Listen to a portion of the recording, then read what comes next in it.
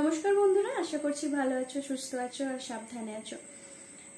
আজ একটা আলোচনার বিষয় যেটা আমাকে অনেকেই এর আগে আমার একটা ভিডিও আমি পোস্ট করেছিলাম, তাতে টপিকটা ছিল এটাই যে বাচ্চাদের সান ট্যান কীভাবে দূর করব বা কি মাখালে বাচ্চার রোদে পুরা কালো যে ত্বকটা সেটা আবার আগের অবস্থায় ফিরে আসবে, এরকম। তো সেটা নিয়ে অনেকেই অনেক প্রশ্ন করেছিলে, তার জন্য আজকের ভিডিওটা বানাচ্ছি। সেটা হলো, বাচ্চাকে রোদ দেওয়ার সঠিক নিয়ম কতক্ষণ রোদে দেব আর রোদে পোড়া যে কালো ভাবটা, সেটা কীভাবে দূর করব? এটা পুরোপুরি আমি যেভাবে টুইটির ওপর অ্যাপ্লাই করেছিলাম, সেটাই তোমাদের সাথে শেয়ার করব। তো ভিডিওটা তোমরা স্কিপ না করে পুরোটাই দেখবে। আর আমার চ্যানেলটা যদি তোমাদের ভালো লেগে থাকে, অবশ্যই সাবস্ক্রাইব করো লাইক করো শেয়ার করো।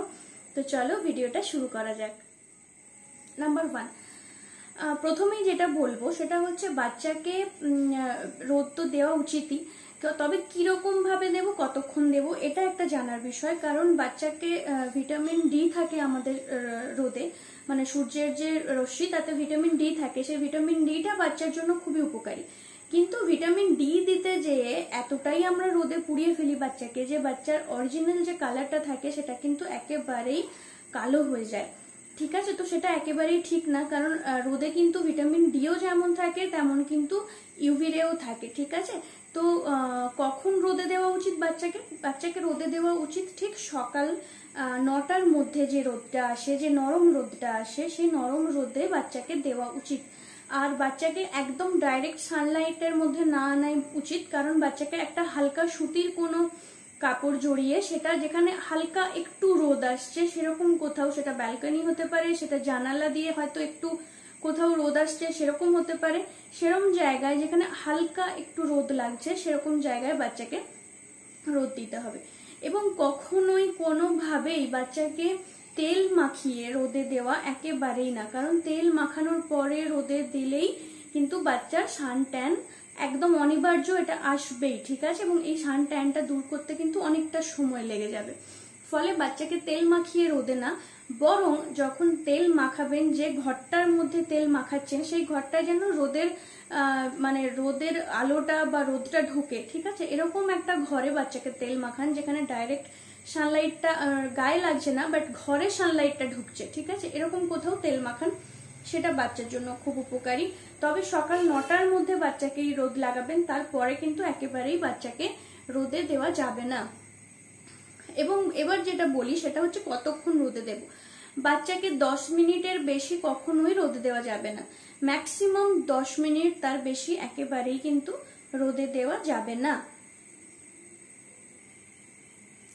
এক বছরের, এক মাসের নিচের বাচ্চাদেরকে তো ডাক্তাররা বলেন যে কোনো রকম তেল কোনো রকম শ্যাম্পু কোনো রকম ক্রিম কোনোটাই ইউজ করতে না। তাই এক বছরের আগে বাচ্চাদেরকে রোদে কালো এসে গেলেও কোনো কিছু করা যাবে না।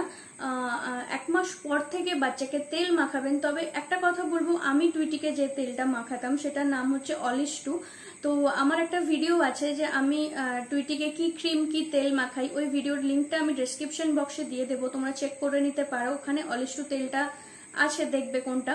এটা যে কোনো মেডিকেল শপে তোমরা পাবে। এই তেলটা এতটাই ভালো এতটাই ভালো যে সমস্ত রকম শান, ট্যান কিন্তু এই তেলটা একেবারেই ঠিক করে দেয়। ঠিক আছে? মানে এটা আমাকে আমার ডাক্তারই দিয়েছিল মানে টুইটিকে যে চাইল্ড স্পেশালিস্ট দেখতে উনি দিয়েছিলেন এই তেলটা। বিভৎস ভালো তেল, ঠিক আছে? তো তোমরা যদি এই তেলটা ইউজ করো দেখবে বেনিফিট পাবে। তবে একটা কথা এক্ষেত্রে বলে দিই, সব বাচ্চার স্কিন তো আর সমান না। তো সেজন্য হয়তো বা প্রবলেম কিছু কিছু ছেলে, কিছু কিছু বাচ্চাদের দেখা দিলেও দিতে পারে। সেক্ষেত্রে তোমরা কোথাও একটু, প্রথমে কোথাও একটু আলাদা মানে পায়ে বা হাতে লাগিয়ে দেখো কোনো রকম র্যাশ বা কিছু হচ্ছে কিনা। যদি না হয় তো আরামসে এই তেলটা ইউজ করতে পারো। দ্বিতীয় নম্বর কথা সান ট্যান কীভাবে দূর করবে তার জন্য আমার একটা ভিডিও আছে। সেই ভিডিও লিঙ্কটাও আমি ডেসক্রিপশন বক্সে দিয়ে দেবো, সেটা তোমরা চেক করবে। এবং ওইভাবে যদি তোমরা ইউজ করতে থাকো তাহলেও কিন্তু সানট্যান অনেকটা ক্লিয়ার হয়ে যাবে।